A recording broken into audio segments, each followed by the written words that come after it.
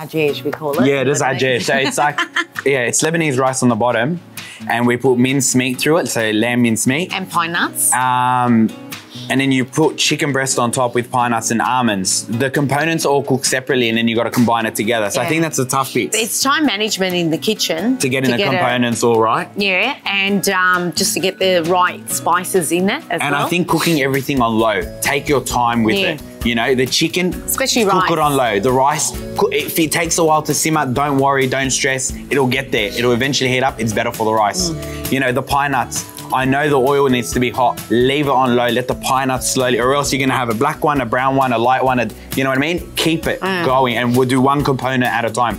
Don't rush it.